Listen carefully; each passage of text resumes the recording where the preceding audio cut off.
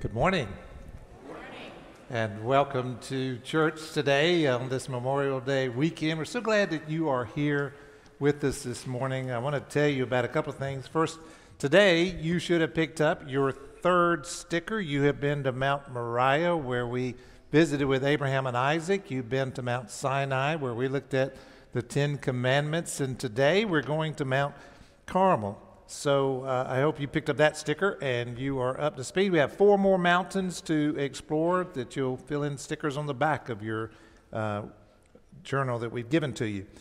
Uh, the deadline for Youth Week sign up is Tuesday of this week, and you can go there www.parkavenue.parkav.church, the new website, uh, and you can sign up for that. Make sure you do that. And uh, would you remember also to fill out your communication cards? Uh, you can do that by filling out the paper one we've given to you, or you can do it online as well. We're so glad that you are with us today. It's uh, Memorial Day weekend, and uh, we want to pause this morning and remember all of those. I tried to look up the number. How many people have given up their lives in service, in the service, for us? And it was, uh, it's uh, two million, close to it or more. And uh, these are the people who never got the opportunity to take their uniforms off. They never got that chance because they gave up their lives. So I wanted you to watch this uh, memorial to them.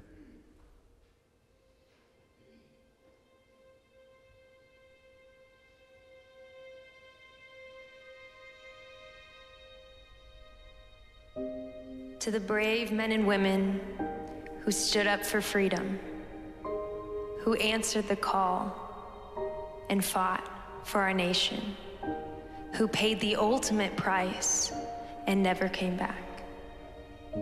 To the American soldier, we thank you.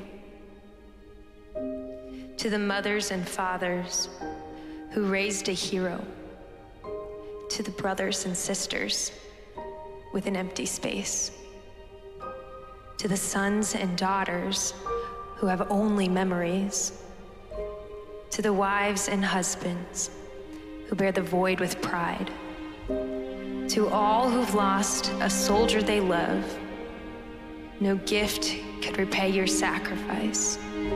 No tribute could match our admiration. No word can contain our gratitude. But still, it deserves to be said. We remember you.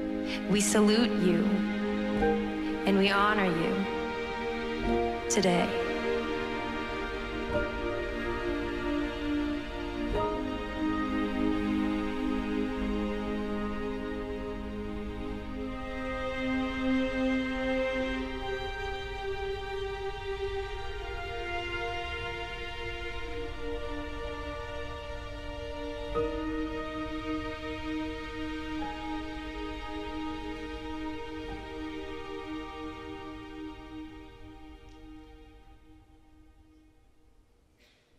Honor to those who deserve honor, and they do deserve our honor. Would you pray with me?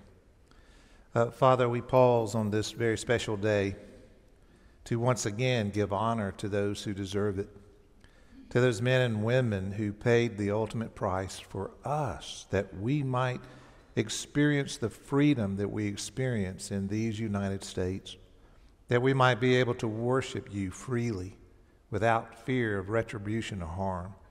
We thank you that we can live free because of their sacrifice. We pray today for their families and for those who recall and remember all that they gave so that we might be free. Would you bless them and would you honor them today, please?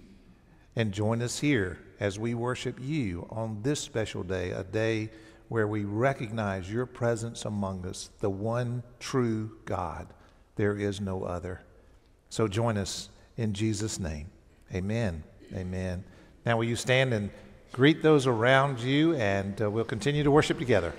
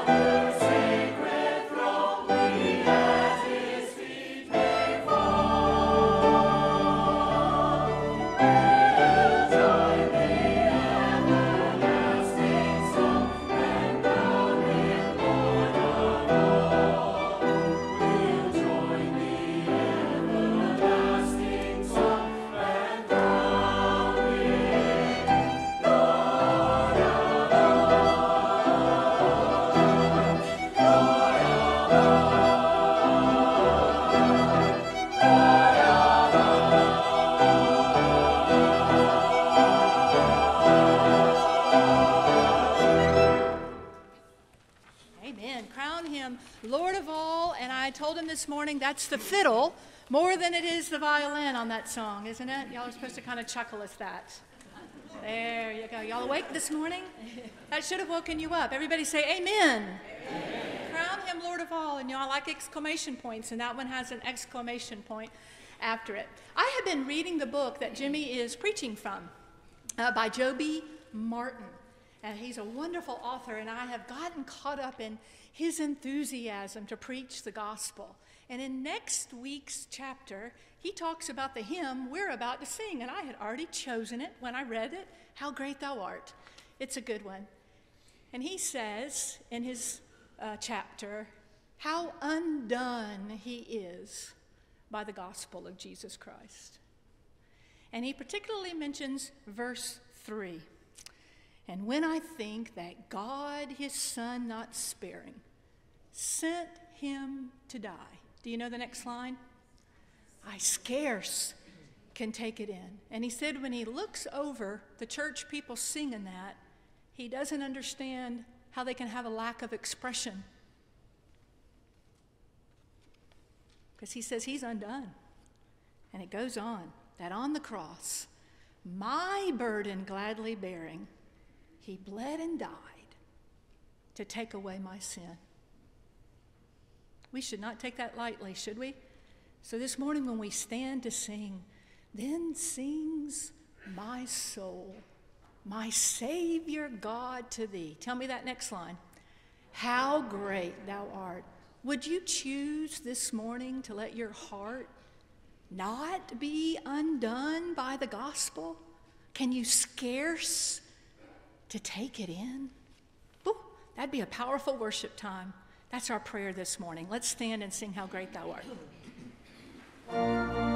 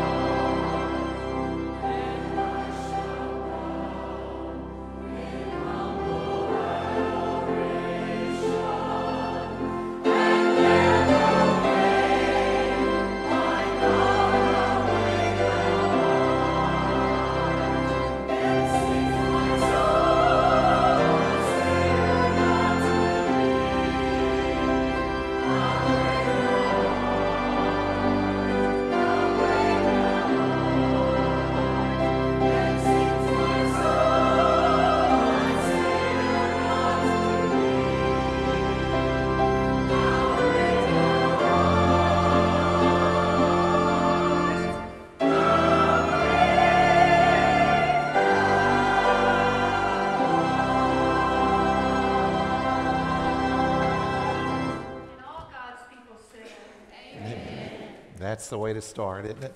Now we affirm our faith. What is it that we believe? We don't do this just to go through the motions. We do it because this is what we confess to be our faith from 1 Timothy. There is one God, and there is one mediator, Christ Jesus, who came as a ransom for all, to whom we testify. This saying is sure and worthy of full acceptance that Jesus Christ came into the world to save sinners and was manifested in the flesh, vindicated in the Spirit, seen by angels, proclaimed among the nations, believed in throughout the world, taken up in glory. Great indeed is the mystery of the gospel. Amen.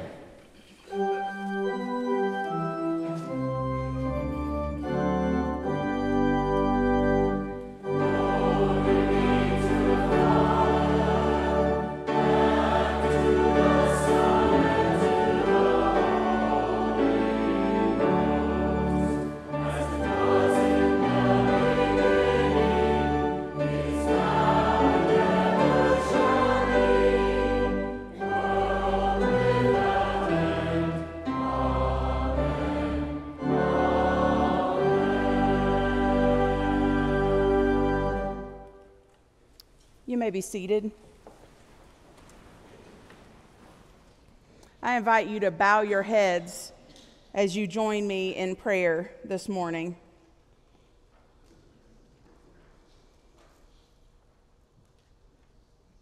Heavenly Father, there is so much, so, so much to bring to you this morning.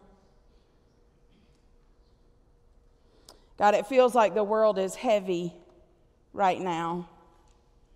Lord, as we celebrate this Memorial Day and we remember all of those who have given their lives so sacrificially,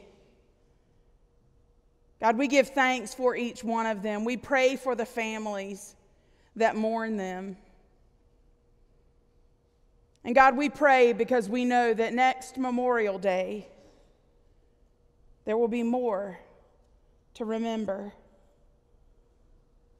Oh God, be with all of those who fight for our freedom. Be with the families who love and support them. And oh God, raise churches up, raise believers up that witness to them.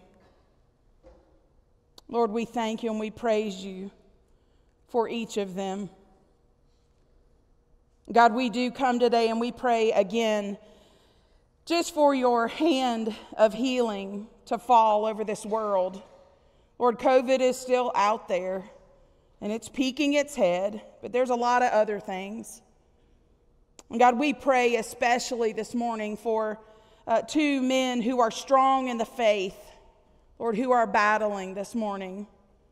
Or we pray for John McGowan and his fight with COVID and God, we pray for VL Daughtry, a pillar of this church. Lord, we pray that you would be with him, be with his family, and that you would bring healing to both of these men, that you would bring them strength, and that you would bring comfort and peace to their families as they walk through sickness with them.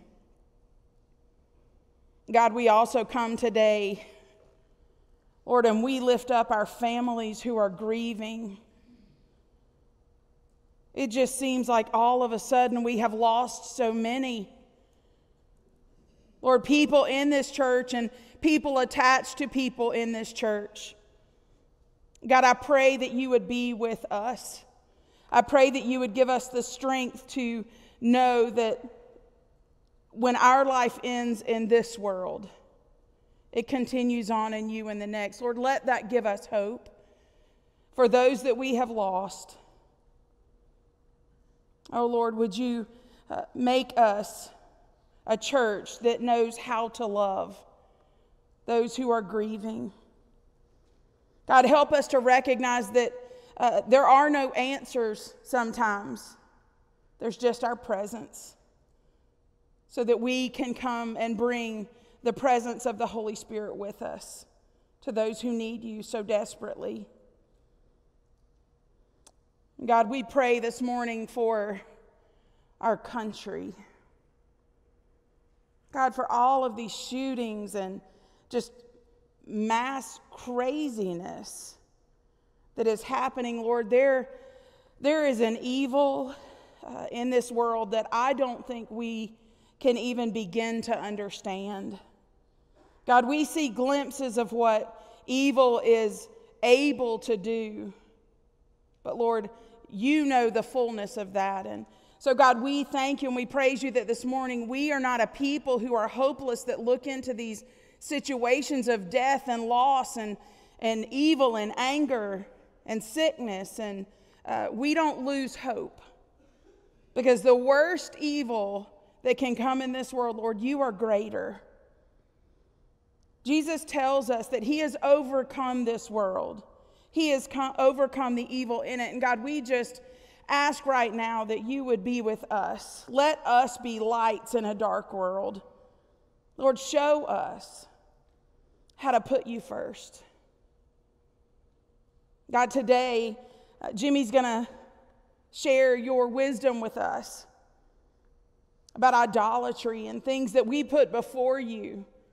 God, I can't help but think that's the source of so much trouble that we're suffering right now in this world is that we have not put you where you belong in this country or in our heart, in our family, in our home.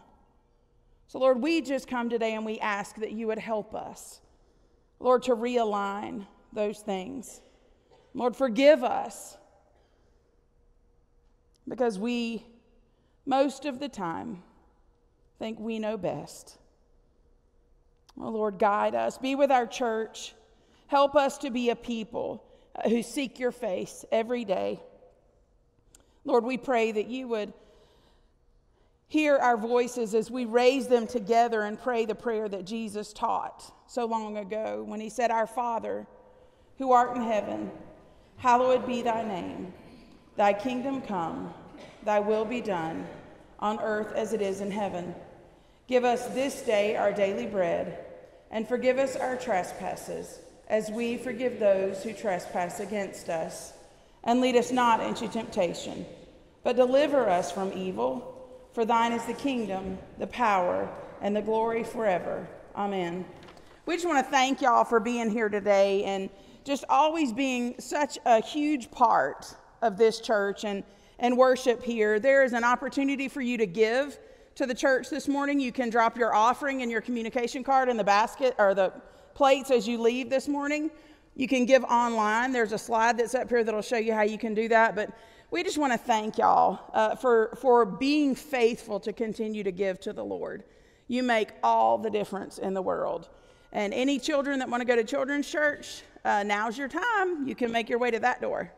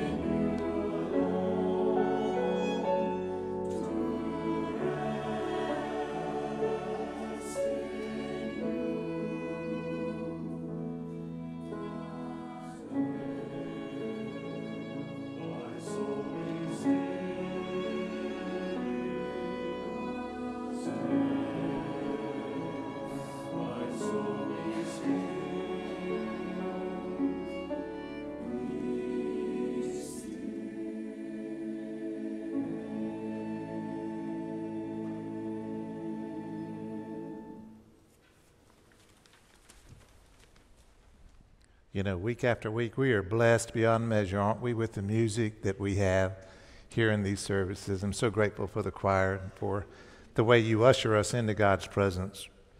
Today's mountain view is uh, Mount Carmel, and it has to do with choices.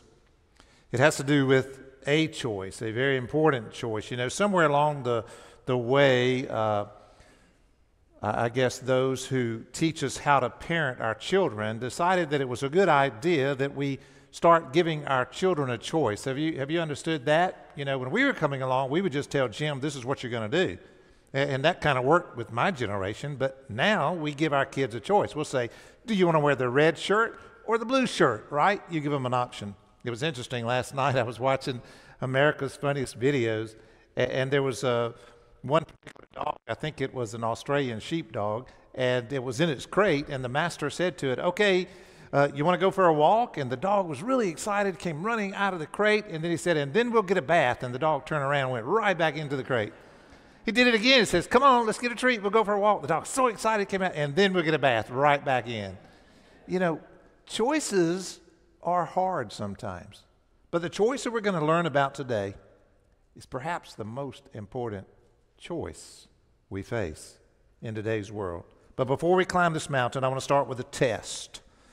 It, it involves a, a question, and uh, it's an all or nothing test because here's the deal. If you pass the test, then we'll look at today's mountain. If you don't, we have to go back and look at last week's mountain again. So here's the question that goes with this test What was the first commandment that God gave in the Ten Commandments? Who knows it? Shout it out. No other gods. Way to go, choir. Now, for the rest of you who didn't remember that, there's a second question. You know, we believe in redemption as Christians, so I'm going to give you a redemption question. Here's the next one What was the second commandment? Does anyone know? No idols. No idols. That's right. So, the second commandment, Exodus 20, 20, verse 4, says, You must not make for yourself an idol of any kind or an image of anything in the heavens or on the earth or in the sea. You just can't do it. Pretty simple, right? No other gods, no other gods, and no idols or images. So, so then why, uh, why, why is it so hard? And, and why did God make those the first two commandments? Well, it's because of all of the so called little g gods that, that people worshiped at the time. It's amazing. If you go and look, you, you can find a God, a little God, little g, uh, for almost anything. If you needed a little rain, you had to pray and worship the rain God. If you needed some flowers, you would pray uh, to the flower God. If you needed a baby, you would pray to the fertility God. I mean, there was a God for everything in these cultures that the Israelites found themselves in. I, I like what Joby Martin, the writer of this book, says. He says, The problem with every idol in every day and every age is that idols make promises they don't have the ability to keep. Because we, in our faithlessness, give them power they don't have and never have had. What, whatever or whoever you idolize will let you down. And when they do, here's what we do we demonize them or it. That's what we do. And, and, so the story of Mount Carmel is it's found in First Kings. You got your Bibles. I want you to follow along with me a little bit. I'm going to scan a little bit and then we'll come to our key passage. But it involves King Ahab, if you remember anything about the kings in the Old Testament. King Ahab is ruling in Israel now, and we find him in 1 Kings uh, chapter 16, there's a reference to him in verse 31. Here's what we see. It said, And as though it, if it were not enough to follow the sinful example of Jeroboam, he, King Ahab, married Jezebel, the daughter of King Ethbaal of the Sidonians, and he began to bow down and worship to Baal. Baal. Well, he built altars for Baal and set up what was known as Asherah poles, Asherah. Baal was the god who brought the rains for crops. Some refer to him as the storm deity. And Asherah was the goddess who brought fertility to the livestock and to wives. So, under King Ahab, here's what happened the Israelites had become Baal worshippers with the enthusiastic support and sponsorship of Jezebel, King Ahab's wife.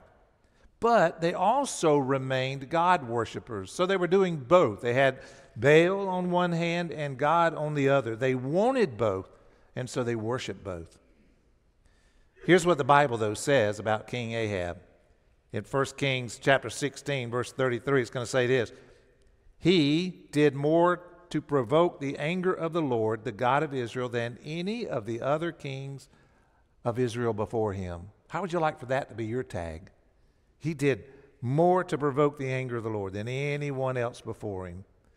And, and here's the problem the, the problem is this we, we demote God to the level of so called little g gods when we worship both. And it dishonors God when we do that. So King Ahab and the Israelites thought that they could just go on without making an exclusive choice between God and Ahab. So the Lord tells, sends the prophet Elijah to go confront King Ahab. It's in uh, 1 Kings 18, verse 17 and 18.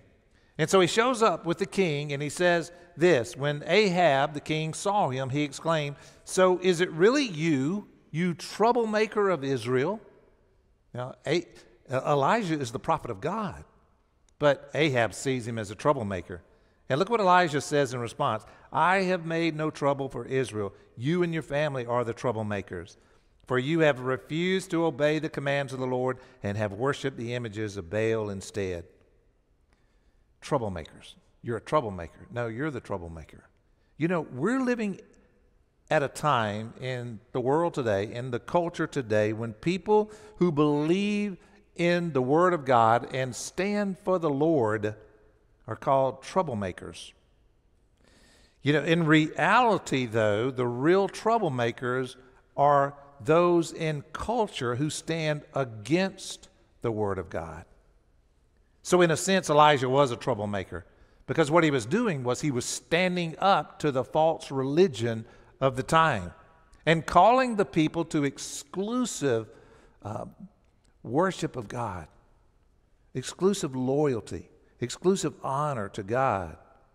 So maybe we should be troublemakers in the world today because there's a lot of false religion around us even now. So here we go. Elijah sets up a showdown. This, this next part uh, of chapter 18 of 1 Kings reads like a, an epic summer movie. I mean, there's so much uh, excitement in, in this. I remember the first time I read it, I couldn't believe that this was in the Bible. It was so good. And so we're going to pick up with 1 Kings chapter 18, what Elijah tells Ahab. And I'll invite you to stand. This is our key passage for today.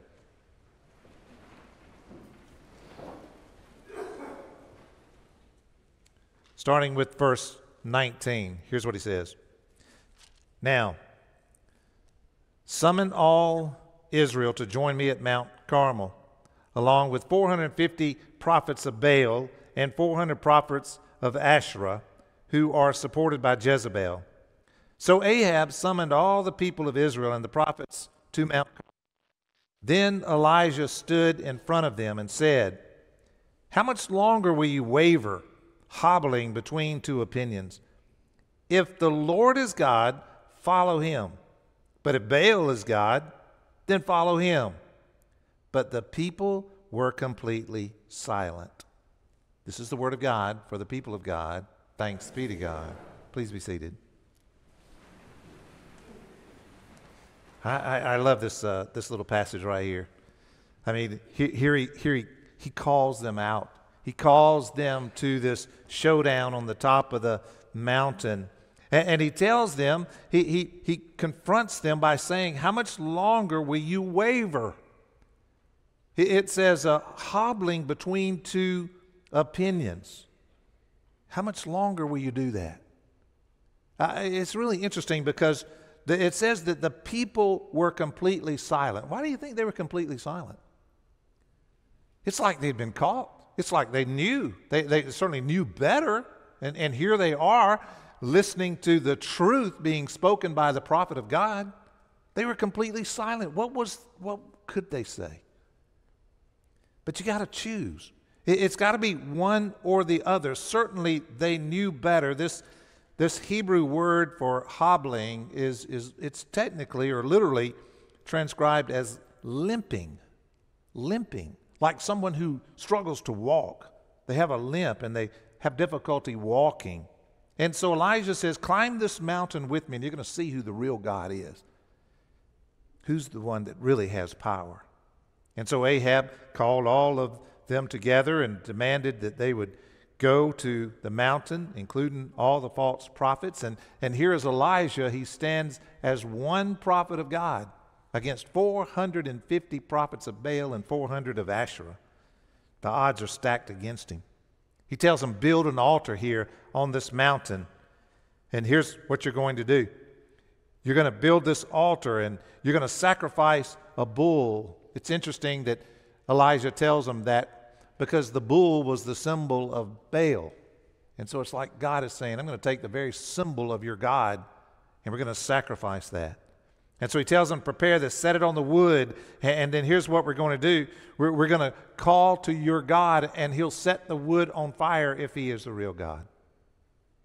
And so they go first to prepare everything. They start calling on Baal from morning until noon, the scripture says. They're hollering, Oh, Baal, answer us. And all they got was crickets, nothing. It, says in 1 Kings 18, interesting word there. It says they danced, here's the word again, hobbling around the altar they made, limping around the altar they made. There's that word. And, and then the part that you've got to love, I love this part. Elijah begins to mock them.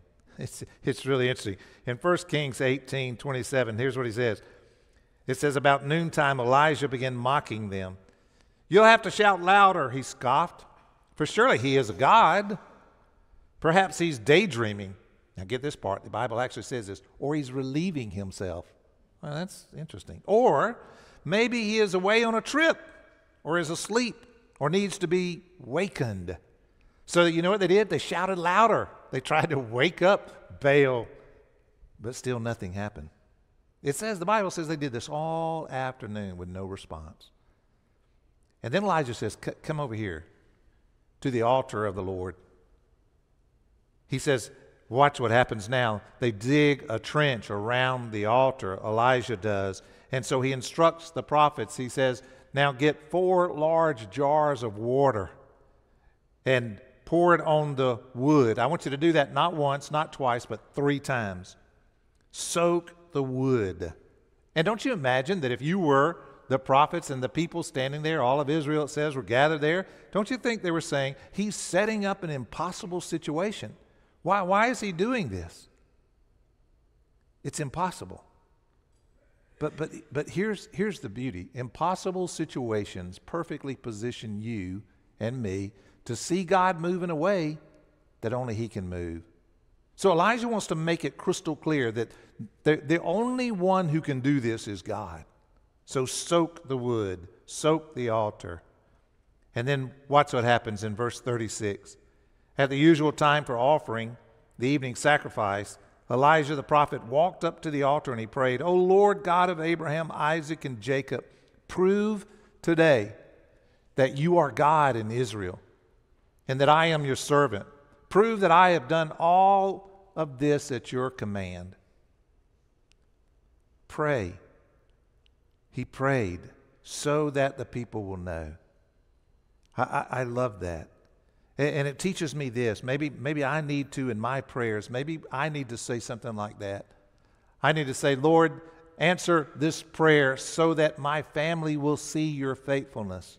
Lord, answer this prayer so that all of this community will know that you alone are God. I, I, need to maybe start praying with a so that in my prayer. It, it's not just that I need what I'm asking for or I desire what I'm asking for, but I want to make you, God, glorified in it. And so I pray, God, would you do this so that you alone are known as God? Would you do it? So that these people will know that you are God. Elijah prays. I love that. And then look what happens. Verse 38 it says, Immediately the fire of the Lord flashed down from heaven and burned up the young bull, the wood, the stones, and the dust. It even licked up all the water in the trench. And when all the people saw it, they fell down on the ground and cried out, The Lord, He is God. Yes, the Lord is God. I mean, immediately in response to that prayer. Oh, there can be no doubt now.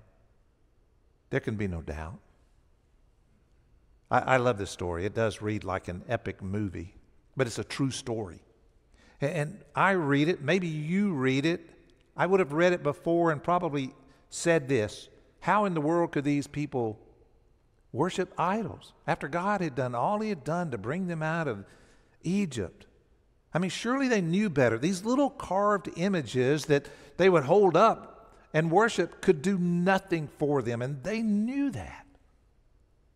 Why would they turn to something that they created, especially when that idol had let them down time and time again? These are the children of God. These are not some foreigners. These are the Israelites who are doing this. Did you catch that? The children of God. And wouldn't you know, wouldn't you think that they would know that God Himself is enough? And I read that story and I think, wow, they should have gotten that. But then here's the other thing I do I'll say, well, that doesn't apply to me. This story doesn't apply to me. I, I, I don't have idols in my life. Really? Well, what do we do when God doesn't provide what we want? What do we do when we don't get the answers that we want? I, I like what Joe, Joby Martin did. He made a list of what we do. And, and I want to quote it to you. Listen to what he says. He says, Do you turn to money for security? Do, do you turn to a pill to take away the pain? He says, Do you turn to a bottle to help forget what's going on in your life? Do you turn to that girl at work who's not your wife to validate you because you don't feel validated at home? He says, Do you turn to one more Netflix show just to avoid reality? Do you turn to Facebook hoping someone will like you. Remember what he said? That quote up front I gave to you? He said, Whatever or whoever you idolize will let you down, will let you down. And, and so the question for us, I believe, from this story is the same that it was for them. How long are you going to limp between two different opinions? How long are we going to do that? How long is the world going to do that right now? Elijah is telling the people that their attempt to have the best of both worlds is actually crippling them. Wavering, hobbling, limping, they all express the same idea. It's divided loyalty between God and anything else is crippling. It's crippling. You know, the reality is most of us have limped between two opinions at some point in our lives, and maybe we still do it even now. Uh, you know, the, the hymn, Come Thou Fount, says, Prone to wander, Lord, I feel it, right? And we do. Our false gods today, our divided loyalty is anything that we put above Him. It could be our jobs or our homes or our children. It could be our our, our wealth or our security. It could be the opinions of others. It could even be our faith. But make no mistake about it. E- either God is first in our lives or He isn't. And, and if He isn't, then there's an idol involved. Let me say that again. That's really important. Either God is first in our lives or He isn't. And if He isn't, then there's some idol involved. And if we don't resolve our limping in God's favor, then we're going to be crippled the rest of our days. It's just true. So at some point, here's what we got to do. At some point, we got to choose. We got to make up our minds. Are we going to follow the Lord God Almighty, or are we going to follow some other little g God? Is that what we're going to do? You know, Joshua, before we get to Elijah, called the Israelites to make a choice. Choose today whom you will serve. But as for me and my family, we will serve the Lord. Choose this day, Joshua said. Elijah says, You choose. If you're going to follow God, then follow him. If you're going to follow Baal, then follow him. It's like this you choose for yourself. You make the decision today. And just make a decision. If it's money that you're going to follow, then serve it with everything you're made of. Go ahead. We can neglect our family to have more money, or, or we can get as much as we can and sometimes have to step on others along the way or crush others. If it's love and romance, if that's what we're going to serve, then serve them. If it's approval that we're looking for, if that's our little g God, then take a selfie every minute and put all the filters you want to on it and post it online and see if you can get some likes. I mean, it's a choice. And, and that's what Joshua said. That's what Elijah is saying. And that's what the Lord is saying to us today. And sadly, friends, when we look around the world today, do you know how many people are choosing the little g gods in life? Too many. But if Jesus is who he says he is, and, and, if you and I believe that he is the Christ who came to do for us what you and I could never do for ourselves, if he is the Lord, if he is the Messiah, if he is the Son of God, then listen, choose to worship him and him alone. Get rid of all the other little g's. On this mountain, Mount Carmel, God had to confront the Israelites with the truth of who He is. That's what He had to do. And the reality is for us, one day He's going to ask us to climb a mountain to confront our understanding of Him too. Which means a showdown is coming, and we'll have to choose one day. So, what's the rest of the story? Well, you can read it. You really ought to read all of chapter 18. The rest of the story, let me just tell you, heads up, spoiler alert, it didn't end well for the prophets of Baal. You should read it. It's in uh, verse 40 of chapter 18. But, but here's the reality people who put their faith in Jesus Christ don't limp along in life. They don't. Here's what the Bible says the Bible says they will run and not grow weary. It says they will rise up on eagle's wings, those who worship him and follow him. That's what they do. That's what they do. To follow someone regard, requires us to take steps, one after another, and we have to keep taking them all the days of our life. So let me just ask you today, friends, what step is he asking you to take to stop limping through this life? Well, here's some ideas. Overlook next step. Here's the first one. W- what are the idols? What are the little g gods in our lives? We need to know. We need to think about it and to address it in our lives. Look at this uh, second one. Am I trying to worship God and the idols around me? Am I trying to have a both and? Do I think I can go through life hobbling, limping between two opinions? And then number three, what idols must I get rid of?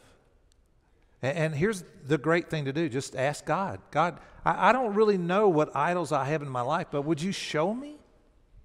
And I believe He will because He's a jealous God. You know, and Jesus says no one can serve two masters, right? So he'll show us. And then the fourth one is this just today is the day for me to decide whether I will follow the Lord or someone or something else. Today. Choose today. Today. Climb the mountain. You'll know today. Father, thank you for, uh, for, for these lessons. Sometimes they're hard lessons. And I know that that had to be a hard lesson for the Israelites and all of those prophets that climbed that mountain with Elijah. But you showed them, you revealed to them who you are. And there was no doubt about it. But for some of us, we still carry doubts. We still limp through this life trying to have two opinions about who we should worship. you and someone else or something else. And we've learned today that's just not right. So help us to have the courage to deal with it so that we'll stop limping, walking through life crippled. We want you to be our God, our one and only true God. We want to worship you and you alone because nobody, no other little g God, no other uh, prophet, no other entity has done for us what you have done for us through Jesus Christ. So help us, God, to have undivided loyalty to you and you alone. And we believe you'll help us. In Jesus' name, amen. Amen. Our final hymn is Come Thou Fount of Every Blessing. And that third verse does say, Prone to wonder, Lord, I feel it. Prone to leave the God I love. But then it says, Take my heart, Lord. Take and seal it. Seal it for thy courts above. And that's what we have to be willing to do, to give our hearts completely to God. So let's stand and sing, Come Thou Fount.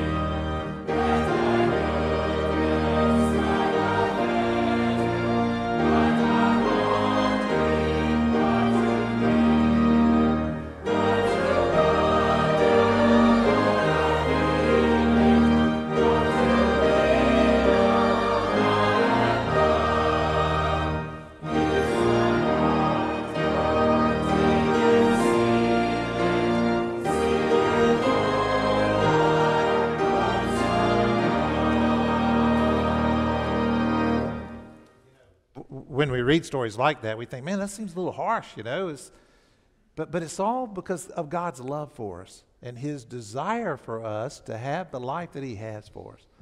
And so when we share messages like this, they're shared in love because we all need that kind of love. So go in God's love that others might see in you the love of Christ and be drawn to Him. In the name of the Father, Son, and Holy Spirit, amen. Love you guys. See you next week.